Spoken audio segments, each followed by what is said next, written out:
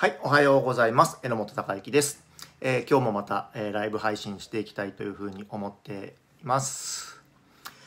えーとですね、昨日髪の毛を切ってきたんですけどもね、え最近床屋に行くペースが、え遅くな間が空いてきてるのでちょっといつもより短めにしてもらいましたでえっとまあまあそんな話は置いといてえっとまあ1日ね、えー3分から5分ぐらいで、えーいろいろと、情報発信できればなというふうに思っているんですけども、まあ、基本的には飲食店の集客の話をしていきたいというふうに思っています。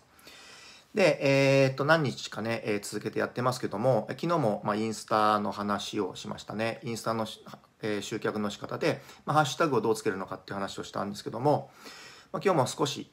インスタの話をしたいと思います。でインスタで飲食店が集客する時にまあねそのインスタで拡散をしてもらうっていうことになると思うんですけどもまあ、その、えーお店をね、えー広めていくために、え2種類の方法がありますね。で一つはもちろん自分で、えー投稿、まあえーフィードの投稿もそうですしストーリーの投稿もそうですし自分で発信していくっていう方法とあとは、まあお客様に、えーそのお客様の方で、えー発信してもらうっていう拡散してもらうっていう方法と2つありますね。でそのまお客様に発信してもらうっていうやり方もそれを分けるとまた2つに分かれてえ一つはやっぱりこう、まあ、よく言う、まあ、インスタ映えっていうことをですねちゃんと、えー狙って商品を作ってお客様がそのインスタで、えー発信したくなるような商品を提供するっていうことが一つですよね。でもう一つは、えーこれはもう意図、えー戦略的にもう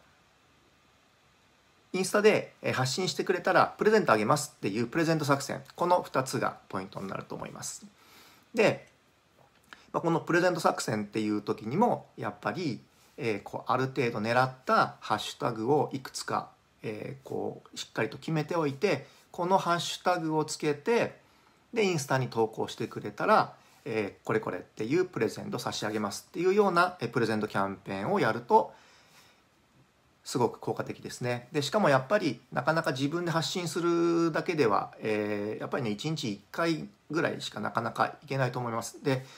例えば本当にその自分で発信するのもすごく重要なんでやっぱり集客で使いたいんだったら、まあ、最低限1日1投稿はしていかないとっていうふうに思うんですけどもそれとプラスして、まあ、お客様にプレゼントキャンペーンをやってお客様にもお店のハッシュタグであったりとか、地域名プラス、業態名のハッシュタグをつけてもらって発信してもらうっていうのがやっぱり効果的なインスタグラムの集客方法だと思いますので、えーぜひ、試してもらえればなというふうに思っています。今日はまたこのぐらいで、また次回に続きたいと思いますのでよろしくお願いします。それでは集客万歳ということで今日も榎本孝之がお送りしました。それではまたお会いしましょう。ありがとうございます。